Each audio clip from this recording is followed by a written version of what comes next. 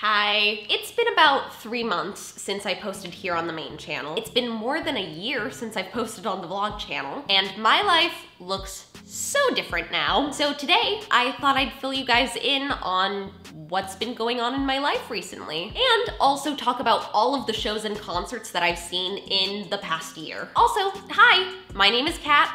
I really like musicals. Thanks to Hungryroot for sponsoring today's video. Hi, Scooter.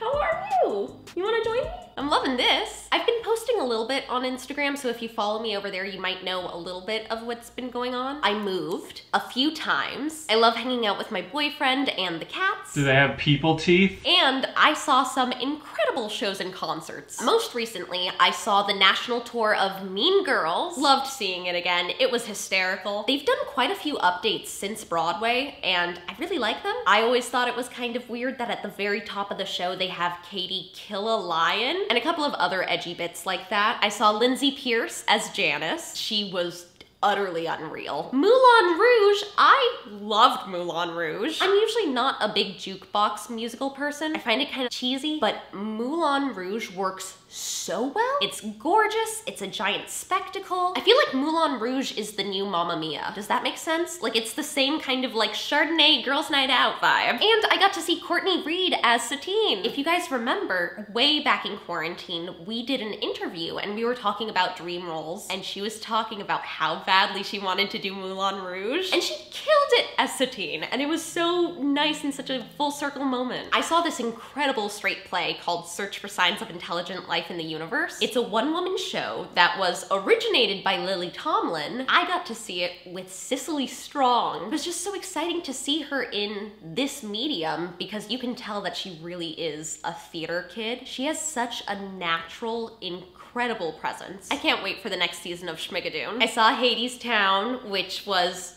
gorgeous. That was the last musical I saw on Broadway before the pandemic. So it's the last musical I saw on Broadway. Oh my God. I finally saw Dear Evan Hansen and it is so much better than the movie. Tonally, it feels like two separate entities. The show has a much more next to normal kind of feel. It's very grounded in reality. But for the movie, they went full DCOM, like Disney Channel original movie. But yeah, I really liked Dear Evan Hansen a lot. I saw Jersey Boys for the first and last time ever. I kid, I kid. Here's the thing, the performance that we saw, I think maybe they were just having a really rough time. Frankie Valli went full Tickle Me Elmo, and I think I blacked out beyond there. Oh, I also saw a production of The Music Man where our friend Darian played Marion the Librarian, which is my favorite sentence of all time. Concerts! Oh my gosh, I went to so many concerts this past year. Tim goes to concerts the way that I go to musicals. I had never really been to any concerts because I didn't really listen to anything other than show tunes growing up. So I got kind of late to the party and I got to see so many of my favorite artists this year.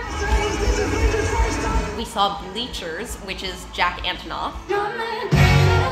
We saw Sammy Rae and the Friends, who I've loved forever, and that was a great surprise. Tim surprised me with that. We saw Muna, who I love. And then Phoebe Bridgers showed up, our really good friend Jake. I've always wanted to end up on a foot fetish website. Played the Troubadour this year, which is like a really historic LA venue. We also saw CHVRCHES, which I love them now. We saw Purity Ring. We saw Danny Elfman, like Oingo Boingo, at the Hollywood Bowl on Halloween, which was wild. I know that there's even more, but the shows and concerts that I've seen this year have been so incredible and it's given me such a, a, newfound love and appreciation for concert performances. Something else I really appreciate is hearing from today's sponsor.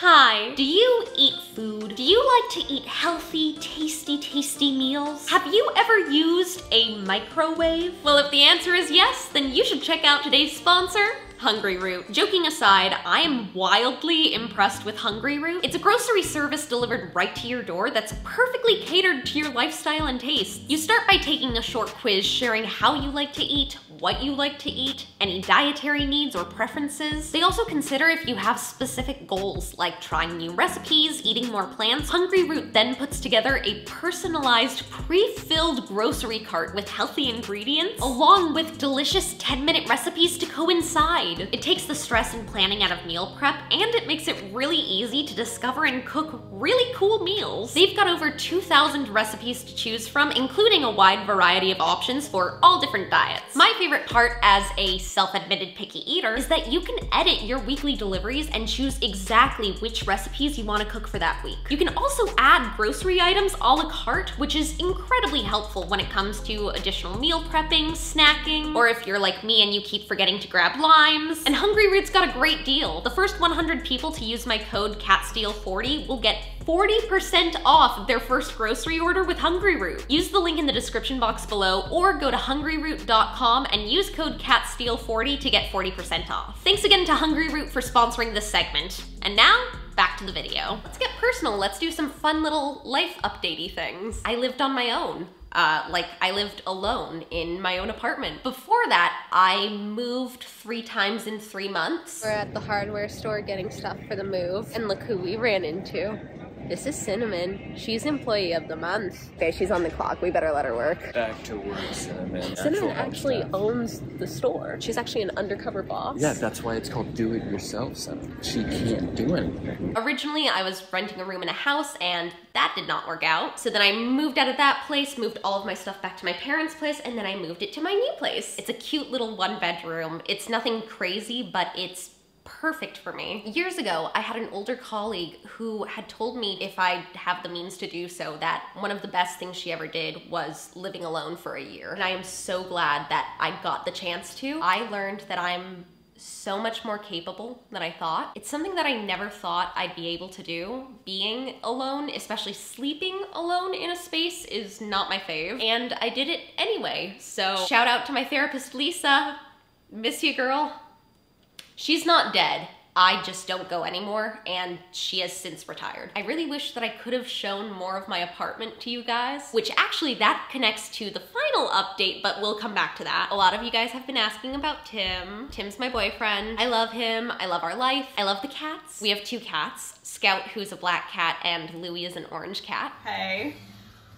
Louis, Scooter. Yeah, guilty. I know. Thoughts after your boxing match? You want to take on Logan Paul next?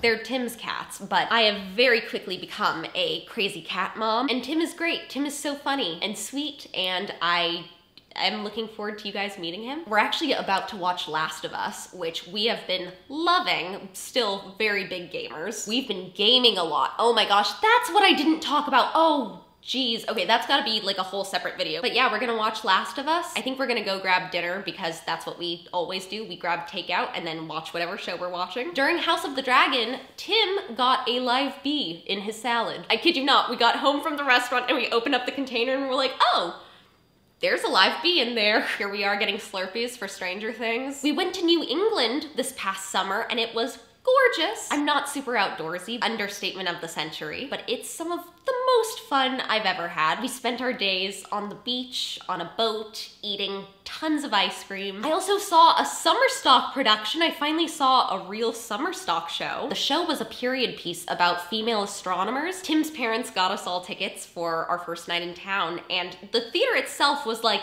in the forest. It's gorgeous. And the latest update, if you can't tell by uh, looking around, I moved one more time. Can't believe it. We're almost done. This is going so well. Bye-bye first apartment. We've been packing up your apartment. We already moved mine, so one in the bag, one to go. Well, kind of like two, maybe maybe three.